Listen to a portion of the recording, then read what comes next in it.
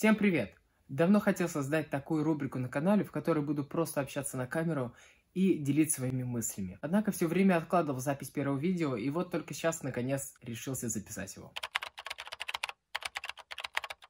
У каждого в жизни наступает такой период, когда начинаешь пересматривать свои приоритеты, ставить перед собой новые цели, задаваться вопросом, как изменить свою жизнь. Этот период, конечно, очень важен, чтобы понять, куда двигаться и найти свою точку роста, но также важно в нем надолго не задерживаться, иначе можно застрять на долгие годы, а потом, уже разочаровавшись себе, плыть по течению оставшейся жизни. Как часто мы обещали себе начать жизнь с чистой страницы, Однако не начиная ни сегодня, ни завтра, ни послезавтра, скрывая все это под красивой картинкой, что мы ждем какой-то идеальный день, который никогда не наступит. Тем самым изо дня в день мы только отдаляемся от нашей мечты, все потому, что мы скрываем за этой красивой картинкой ожидания ряд проблем, которые скрываются внутри нас. Но только поняв, что за проблемы нас останавливают, и признав их в себе, мы сможем их побороть и начать действовать.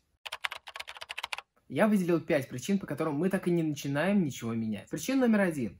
Мы руководствуемся слишком абстрактными целями. Когда мы говорим себе, что хотим изменить что-либо в своей жизни, мы зачастую не представляем конкретного результата, которого хотим достичь. Мы просто выделяем это как тезисы. Мы хотим стать красивыми, хотим стать здоровыми, хотим стать богатыми, но не имея в виду под этим конкретики. А как известно, если у тебя размытые цели, то у тебя размытые действия. Поэтому очень важно выделить конкретную цель, ее представить для себя и уже отталкиваться от этого.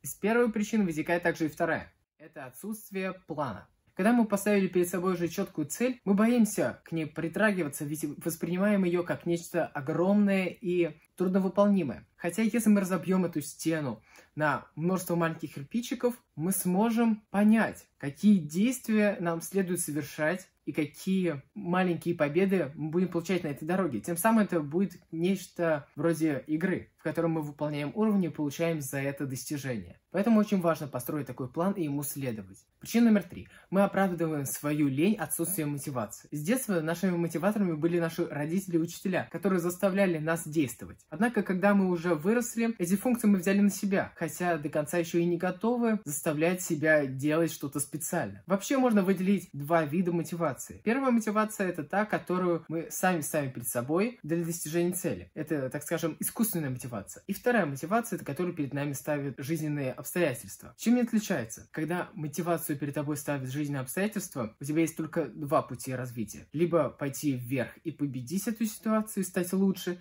либо проиграть. Причина номер четыре – это неуверенность в себе. Она возникает при вечном сравнивании себя с другими людьми. Причем этих других людей мы представляем как нечто идеальное, лишенное всяких недочетов. В современном мире очень важную роль в этом играют социальные сети, которые транслируют исключительно красивую, идеальную картинку из жизни. Хотя в действительности мы не часто такого встречаем. Когда человек не уверен в себе, он заранее обречен на провал. Он воспринимает свои победы, достижения как просто воля случая, а не действительно заслуженную победу. Это известно как синдром самозванца. От этого синдрома самозванца и неуверенности в себе важно избавляться. Это можно сделать несколькими способами. Например, можно вести дневник, в котором записывать свои успехи и неудачи, тем самым здраво оценивать свою проделанную работу. Или можно прокачивать те аспекты, в которых вы чувствуете себя не до конца уверенно. Самое главное в этой проблеме не сидеть, сложа руки и выходить из зоны комфорта, тем самым расширяя свой круг возможностей. Пятая причина вытекает из неуверенности в себе. Она заключается в потребности постоянной поддержки и одобрения со стороны окружающих. Конечно, человеку очень важно общение с другими людьми и оказывать другим людям поддержку. Однако в вопросе саморазвития, достижения своих целей это довольно спорный момент. Я планирую создать серию роликов на данную тему по типу дневника роста, котором буду рассказывать о саморазвитии, достижении целей, полезных привычках и просто об повседневной жизни. Поэтому, если вам будет интересна такая тема, то подписывайтесь на канал, будем расти вместе и развиваться.